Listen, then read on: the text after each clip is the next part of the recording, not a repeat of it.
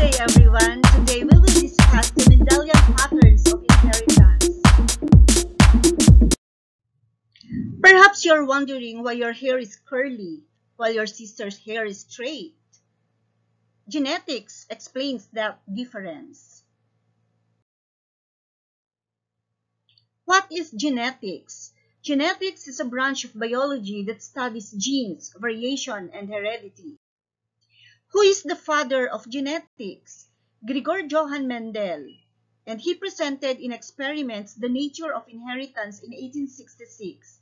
Mendel used the garden pea plants, Pisum sativum, as his main specimen for his genetic experiments. What is heredity?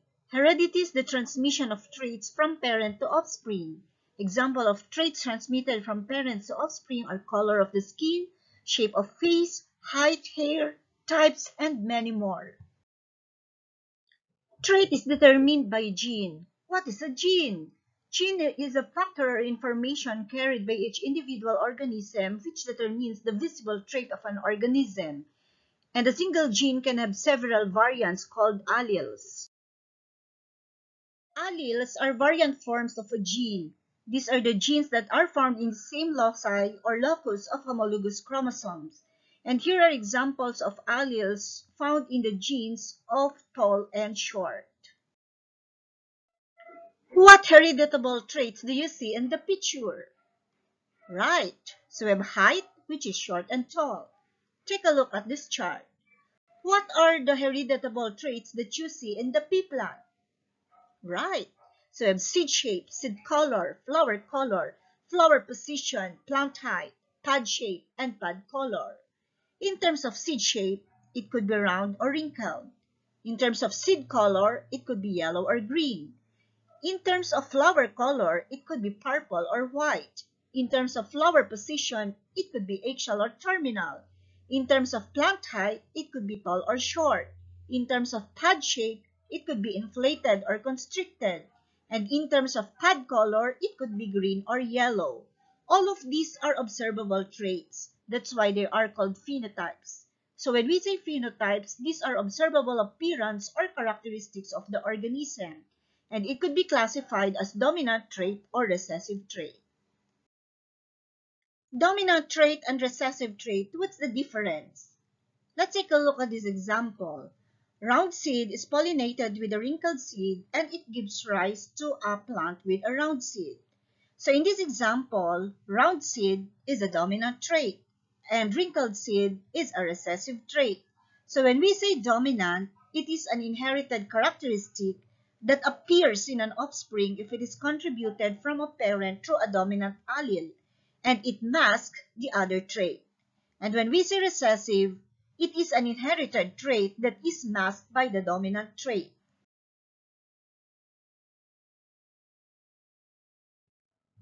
Phenotype is a trait that is expressed as determined by the genotype. And here are examples of the phenotypes of the dominant trait. So a brown seed, yellow seed, purple flower, axial flower, tall flower, inflated pod, and green pod. These are also the phenotypes of the recessive traits. Wrinkled seed, green seed, white flower, terminal flower, short plant, constricted pod, and yellow pod. Genotype is the genetic makeup or genetic composition for a particular trait. Now, the question is, how are we going to write the genotype of a certain phenotype? We have a rule. First, you have to identify the dominant trait. So between round and wrinkled seed, which trait is dominant? It's round. And the second rule is use the first letter of the dominant trait. So since round is the dominant trait, we use letter R to represent round and wrinkle. So round, we have double capital R. This is homozygous round. So when we say homozygous, the genes are morphologically alike, described as either homozygous dominant, represented by capital letters, or homozygous recessive, small letters, so homozygous wrinkled is represented by double small letter, letter R. Another one for yellow. Since yellow is dominant, we use letter Y to represent yellow and green. So that is homozygous yellow, and for green, that is homozygous green. For purple flower, we use letter P to represent homozygous purple and the small letter P to represent homozygous white. For axial flower and terminal flower, we use letter A. So capital A for homozygous axial and small a for homozygous terminal. For tall plants, since T starts with the dominant trait which is tall, so we use letter T to represent homozygous tall and small t to represent homozygous short.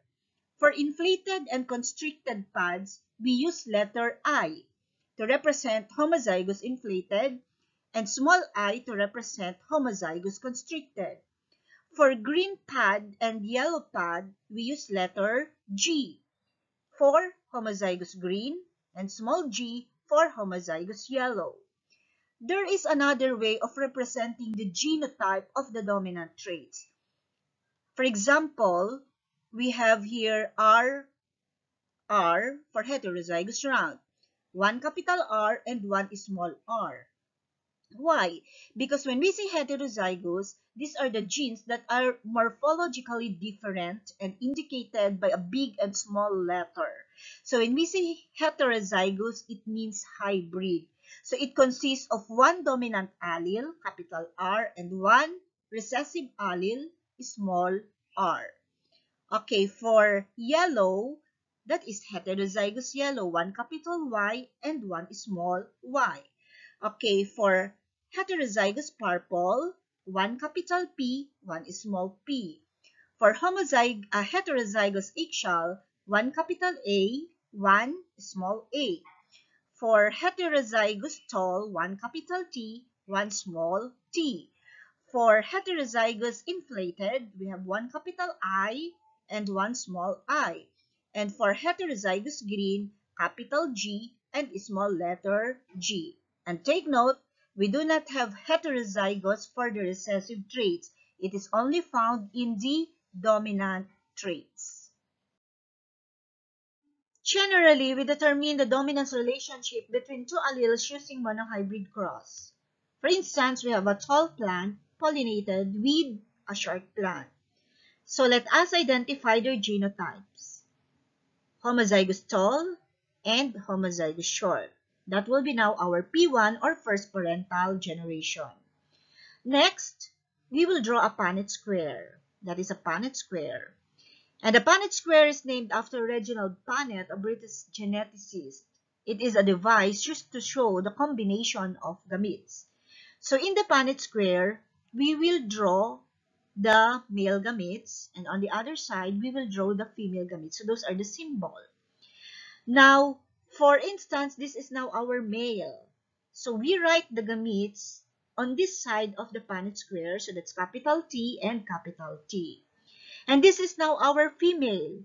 So we write in here the gametes of our female and that is small t and small t. We will identify now the possible combination of gametes, okay, of the F1. So in this box, just take a look at this one, capital T, and on top of the Punnett square is also a small t, so it will give us a combination of capital T and small t. In this box, again, take a look at this one, that's capital T, and on top of the Punnett square, that is small t. So the possible combination now is capital T and small t. On this box, okay, again, take a look at this one, capital T, and on top, that is small t, so it will give us capital T and small t. And on this box, again, take a look at this, that's capital T, and on top, small t, so it will give us capital T and small t. So this 1, 2, 3, 4 are now our what we call F1 or first filial generation. And it is 100% tall. Now, if our F1 is self-pollinated, okay, so that's heterozygous tall, pollinated with heterozygous tall, Okay, so that will be now our P2 or second parental generation. So we will make again a Punnett square where we write the male and the female gametes. Okay, so this is our male. So we write now the gametes here. So that's capital T and small t. And this is now our female. So write, we write the gametes on this side of the Punnett square. So that's capital T and small t. So on this box, we will identify now the possible combinations of the gametes. So that's capital T, capital T. So it gives us a combination of double capital T. On this box, take a look, that small t and on top, capital T. So it gives us capital T and small t combination.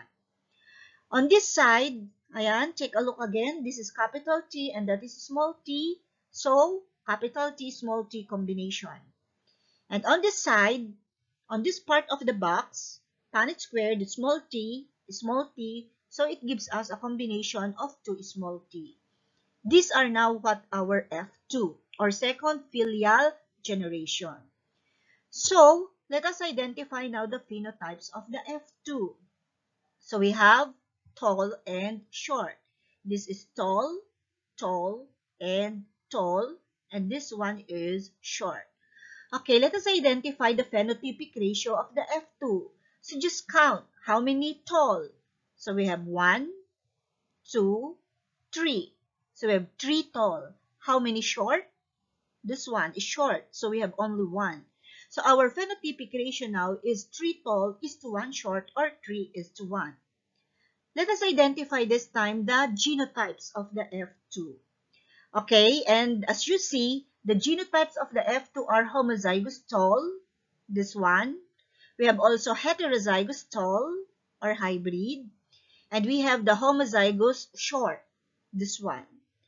Okay, since we have already identified the genotypes, let us identify the genotypic ratio of the F2. So just count how many homozygous tall. This one. So we have only one. How many heterozygous tall? We have two. One, two.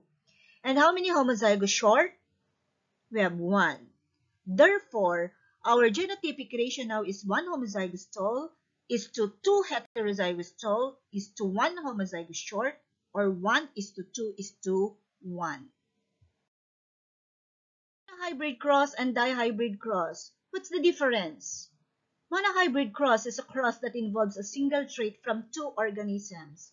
For example, round seed pollinated with a wrinkled seed. So we have one trait for the male, which is round, and one trait for the female, which is wrinkled. That's why it is a monohybrid cross. Another example, we have green pad pollinated with a yellow pad. Dihybrid cross, on the other hand, is a cross that involves two traits from two organisms. For example, round yellow seed pollinated with green wrinkled seed. So where are the traits here? Round, that's one. Yellow, that's another. That makes it two. So two traits for the male. And for the female, we have wrinkled, that's one. Green is another trait, so we have two traits for female. So two traits from the male and two traits from the female are being crossed. That's why it is called a dihybrid cross. Another example, we have green constricted pad pollinated with a green inflated pad.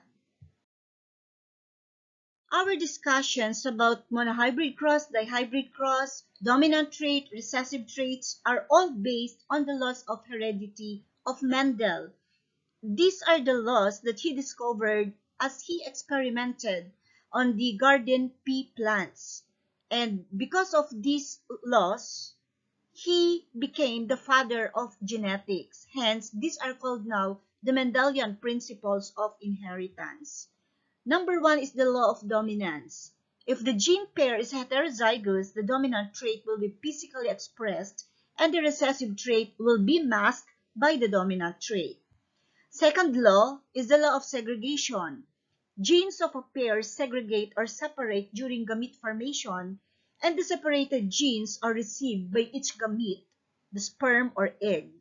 It also explains that by gene pair segregation, a recessive gene may be paired with another recessive gene allowing the recessive trait to be expressed.